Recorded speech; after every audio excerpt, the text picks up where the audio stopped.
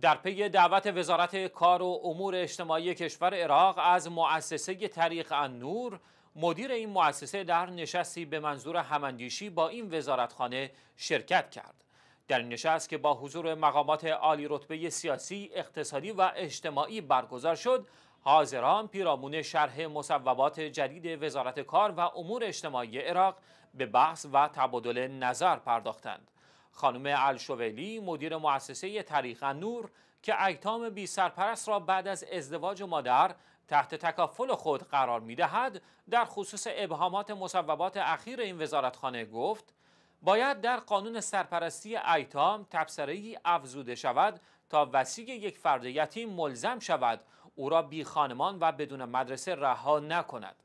بیشان افزود برای وسیع و سرپرست یتیم نیز باید از سوی دولت حقوق نگهداری و رسیدگی به ایتام در نظر گرفته شود.